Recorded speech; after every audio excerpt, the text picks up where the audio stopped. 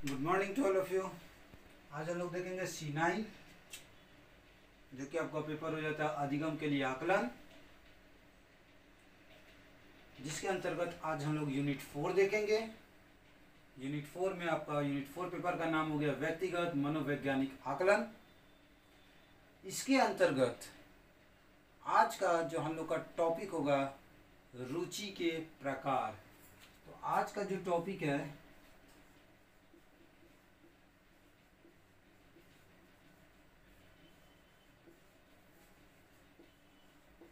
आज का जो टॉपिक है रुचि के प्रकार, जो कि बीएड सेकेंड ईयर वालों के लिए है। और आज हमारा लेक्चर संख्या जो हो जाएगा इलेवन हो जाएगा। तो जैसे कि मैं आप लोगों को कल कल की कक्षा में मैं आप लोगों को क्या बताया था? रुचि का अर्थ बताया था, रुचि के लक्षण या विशेषता के बारे में बताया था। तो रुचि का अर्थ का मतलब मैंने आपको थोड़ा सा बताया था, उसके बारे में मैं थोड़ा सा आपको बता देता हूँ, डील करता हूँ कि रुचि का अर्थ होता है इंटरेस्ट यानी कि वह क्रिया जो व्यक्ति के आंतरिक, यानी अंदर से जब व्यक्ति किसी चीज़ के बारे में सोचता है, पूर्ण रूप से अपनी, अपने आप को उसके प्रति समर्पित करता है, उस कार्य के प्रति तो क्या कहलाता है उसका? रुचि कहलाता है। अगर इसकी विशेषता के अंतर्गत मैंने आपको कल बताया था, विशेषता देखते हैं तो इसकी चार विशेषता थी। जिसके अंतर्गत पहले मैंने हमने बताया था ध्यान की एका, एकाग्रता, यानी कि ध्यान की एकाग्रता में क्या मैंने बताया था? यानी कि जिस कार्य में हमें रुचि होता है वह कार्य अगर हमें मिल जाता है करने के लिए तो क्या होता है? हम उस कार्य में पूर्ण रूप से अपनी ध्यान लगाते हैं। दूसरा मैंने आपको बताया था तीव्रता। तीव्रता के अंतर्गत क्या बताया था? कि अचानक से हमारे अंतर्गत, यानी कि हमारे सोच के अंतर्गत जो कार्य हमें प्राप्त होती है, मिल जाती है तो उसमें क्या हो जाती है? हमें तेज़ी आ जाती है। तीसरा मैंने आपको बताया था आनंद होना। यानी कि जब हम उस कार्य को कर लेते हैं और करने के बाद हमें जो सफलता की प्राप्ति होती है तो उससे क्या होता है? उस कार्य के प्रति हमारे आनंद मिलती है। और चौथा मैंने आपको बताया था स्थिरता। स्थिरता मतलब कि क्या कहता है? स्थिरता के अंतर्गत हमने क्या बताया था कि व्यक्ति का लाख, उसका मानसिक बौद्धिक या मानसिक क्रिया लाख बदल जाए, लेकिन उसके जो कार्य करने की जो स्थिरता होती है, वह पूर्णतः, यानी स्ट्रक्चर वैसे ही रहती है। तो ये हमने चार बताया था, किसकी? रुचि की विशेषता। अब हम लोग को देखना है रुचि के प्रकार। तो जहाँ तक मैं जानता हूँ, रुचि के मुख्यतः दो प्रकार होते हैं। रुचि के दो प्रकार होते हैं। नंबर वन आता है, जन्मजात रुचि। और नंबर टू आता है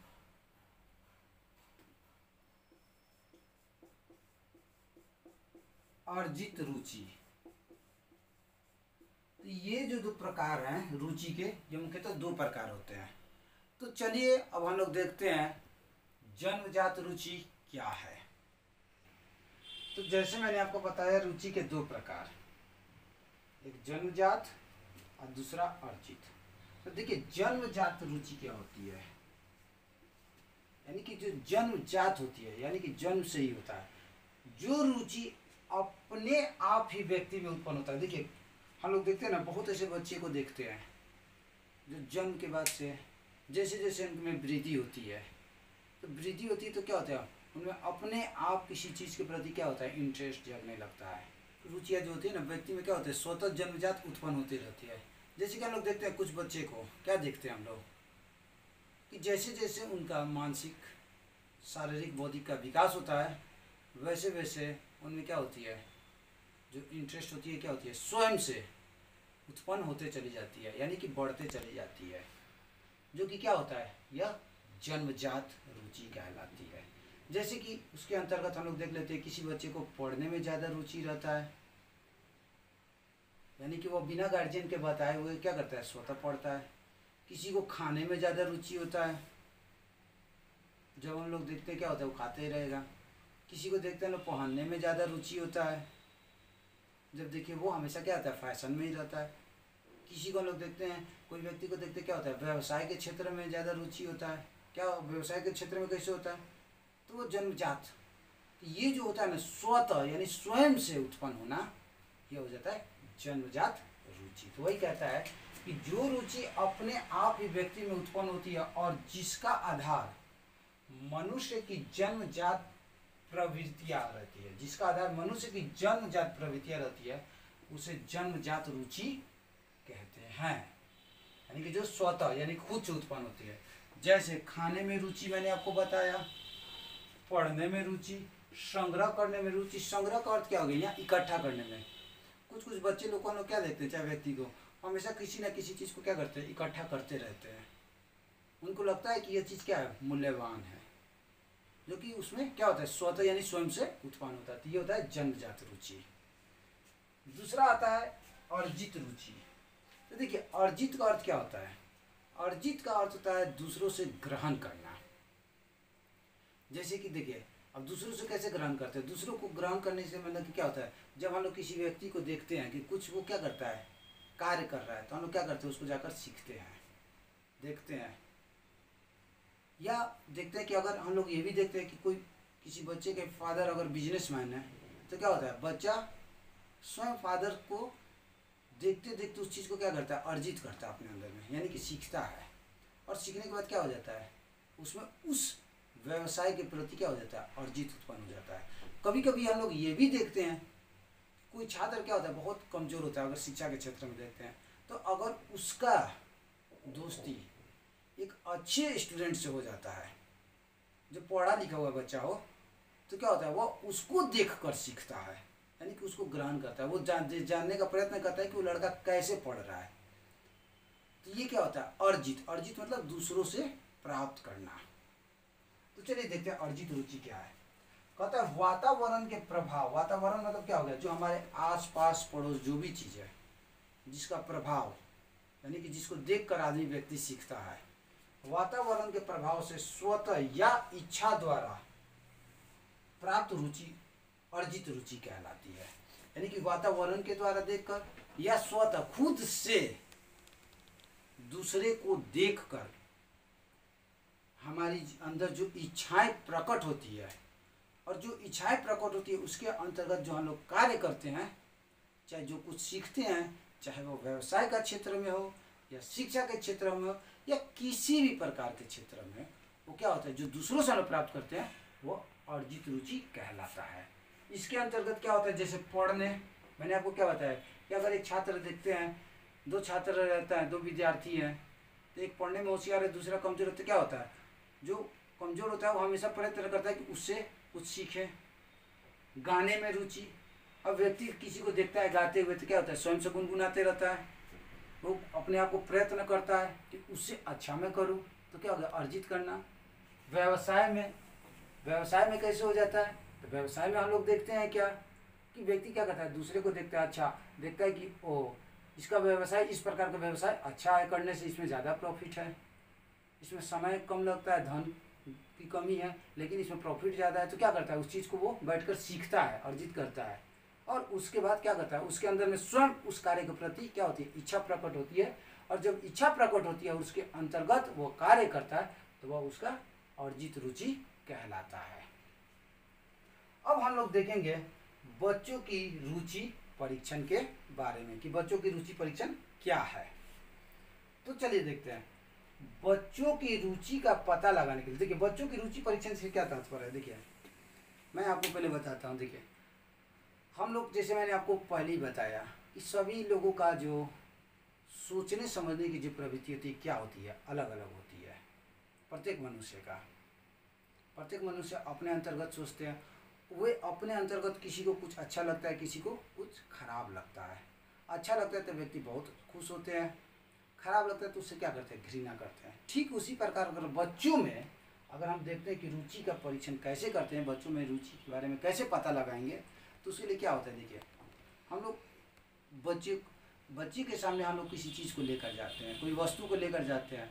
अगर बच्चे को अच्छा लगता है तो क्या करता है, बच्चा उसका जवाब देता है हाँ मैं चाहे उस चीज़ को प्राप्त कर लेता है खुशी खुशी लेकिन अगर बच्चे को वह चीज़ अच्छा नहीं लगता है, कोई भी वस्तु तो क्या बोलता है, या तो उसका उत्तर ना में होता है, और उस चीज़ को लेने से भी क्या करता है, हिचकता है।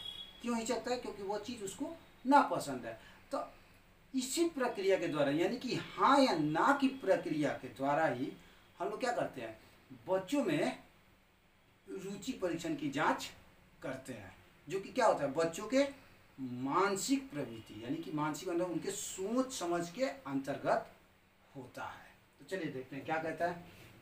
कहता है कि बच्चों की रुचि पता लगाने के लिए विभिन्न रुचि परीक्षणों का निर्माण किया जाता है, यानी अनेकों प्रकार के रुचि परीक्षणों का निर्माण किया जाता है।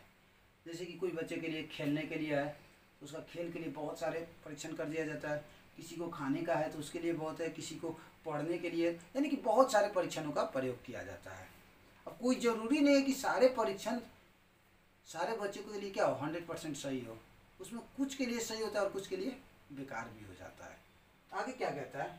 जिसमें उनके विभिन्न रुचियों से संबंधित पद सम्मिलित होते हैं। यानी कि जितने भी उनके इंटरेस्ट से संबंधित चीज़ होते हैं, वो क्या होते हैं? उसमें सम्मिलित होते हैं। यानी कि उसको एकत्रित किया जाता है बच्चों के मानसिकता के अकॉर्डिंग यानी कि अगर दस बच्चा है तो दसों बच्चा के लिए दस तरह की जो भी रुचि, जो उनमें रुचि उत्पन्न करे, उससे रिलेटेड जो भी वस्तु होते हैं, उसको क्या किया जाता है? सम्मिलित किया जाता है।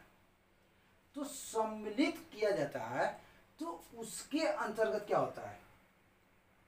तो कोई ज़रूरी नहीं है कि अगर हम दस बच्चों के लिए अगर एक सामान अगर खिलौना रखते हैं तो ये कोई ज़रूरी नहीं है कि ये दसों बच्चों के लिए क्या हो, सही हो। नहीं, वहाँ कुछ बच्चों के लिए क्या होता है, ये गलत भी हो सकता है। हो सकता है कि उनको ये अच्छा ना लगता हो। हो सकता है कि दस में से एक बच्ची को अच्छा लगता है। तो वही कहता है, सम्मिलित होते हैं। जिसका उत्तर उन बच्चों को हाँ या ना में देने का, देने के रूप में होता है। अब व्यक्ति क्या करता है? जो परीक्षक होता है, क्या करता है? बच्चे को वो चीज़ दिखाते हैं कि ये आपको पसंद है। अगर बच्चे को पसंद है तो हाँ कहता है। अगर बच्चे को पसंद नहीं है तो क्या कहता है? ना कर देता है। ज़ाहिर सी बात है कि अगर हमें भी कोई चीज़ अच्छी लगती है तो क्या करते हैं? हम खुशी खुशी उसको प्राप्त करते हैं। और हमें वो जब अच्छा नहीं लगता तो क्या करते हैं? हम वहाँ से निरस हो जाते हैं। उस चीज़ को क्या करते हैं हम लोग? छोड़ देते हैं। तो वही कहता है कि जिसका उत्तर बच्चों को हाँ या ना के रूप में देना होता है, उनके द्वारा दिए गए उत्तरों की गणना। अब ये जो हाँ या ना में जो उत्तर दे रहे हैं, उनकी गणना करके हम उन बच्चों के विभिन्न रुचियों का पता लगाते हैं। यानी कि यही हाँ और ना में उत्तर देना ही बच्चों का क्या होता है? रुचि का क्या करना होता है? पता लगाना होता है। यही होता है, यानी कि बच्चों की रुचि परीक्षण। यानी कि इसके अंतर्गत बच्चों को सिर्फ़ क्या किया जाता है? उनसे प्रश्न कर कर उनका जवाब जो प्राप्त होता है हाँ या ना में प्राप्त किया जाता है। यानी कि इसके अंतर्गत बच्चों के अकॉर्डिंग जो भी चीज़ होती है, उनको सम्मिलित किया जाता है। तो ये थे आज आपके बच्चों की रुचि परीक्षण के बारे में। तो आज हम लोगों ने क्या देखा? आज हम लोगों ने देखा कि रुचि के प्रकार के बारे में तो रुचि के प्रकार के अंतर्गत हमने फिर आपको बता रहा हूँ कि हमने दो प्रकारों को देखा। एक था जन्मजात, जो व्यक्ति में स्वतः उत्पन्न होती है। दूसरा था अर्जित, जो व्यक्ति क्या करता है, दूसरों से देखकर सीखता है या प्राप्त करता है। ये दो प्रकार थे। और उसके बाद का जो हम लोग का टॉपिक था, बच्चों की रुचि परीक्षण तो बच्चों की रुचि परीक्षण के अंतर्गत क्या हम लोग ने देखा? बच्चों के रुचि परीक्षण के अंतर्गत हम लोगों ने देखा कि बच्चों को कैसे किसी चीज़ के प्रति रुचि उत्पन्न होती है, कैसे हमें मालूम चलेगा? तो हमने क्या बताया? उनके अंतर्गत सभी वस्तुओं को क्या किया जाता है? सम्मिलित किया जाता है। सम्मिलित करने के बाद बच्चे जो हाँ या ना में उत्तर देते हैं, और जो हाँ या ना में उत्तर देते हैं, उसके द्वारा हम क्या करते हैं? उनके रुचि परीक्षण का पता पूर्ण रूप से क्या करते हैं? लगाते हैं। सो माई डियर स्टूडेंट आज का जो हम लोगों का क्लास था रुचि के प्रकार, बच्चों की रुचि परीक्षण। So thank you have nice day